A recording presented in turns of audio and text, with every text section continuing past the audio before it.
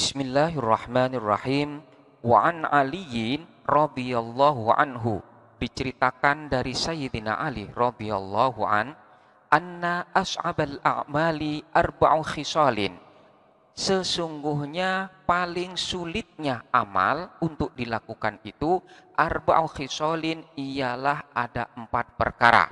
Al-afu indal ghadabi al-afu ialah memberi maaf indal ghadabi ketika marah wal judu fil usrati wal judu dan bersikap dermawan fil usrati ketika dalam keadaan susah. Wal aifatu fil khalwati wal aifatu dan menjaga diri fil khalwati dalam keadaan sendirian.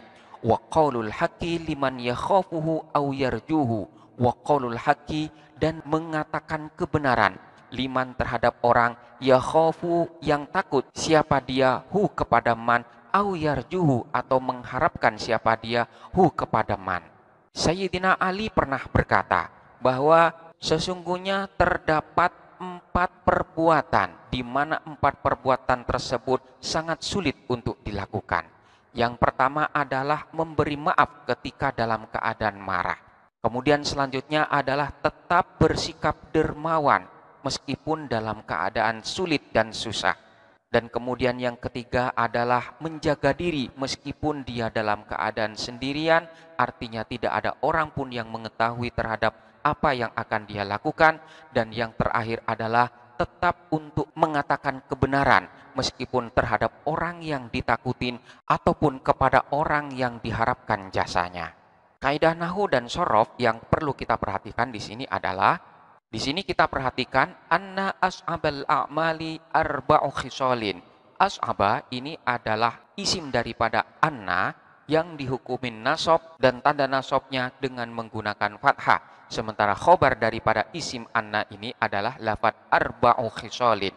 Arba'u ini adalah khobar daripada anna yang irobnya pun harus dirofakan dan tanda rofaknya di sini dengan menggunakan pomma arba'u khisolin.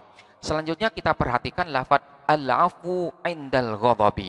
Indal ghadabi ini adalah susunan syibhul jumlah di mana mahalnya dalam keadaan rofa sebagai khobar daripada lafad al-afu.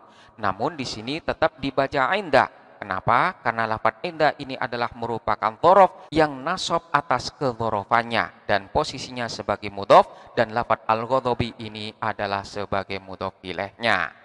Selanjutnya kita perhatikan lafad yarjuhu. Liman yakhafuhu au yarjuhu. Lafat yarju ini adalah fiil mudore yang dalam keadaan rofa karena sebelumnya tidak didahului oleh amil nasob ataupun amil jazm. Dan tanda rofaknya di sini dengan menggunakan dhammah yang dikira-kira pada huruf waw. Karena di sini huruf waw dinyatakan berat oleh orang Arab untuk menerima harkat dhammah sementara posisinya berada di akhir kalimat oleh karena itu wawnya di sini pun disukunkan maka di sini dibaca au yarjuhu. Jadi tanda rofaknya di sini dikira-kira pada huruf waw. Wallahu a'lam bisawab.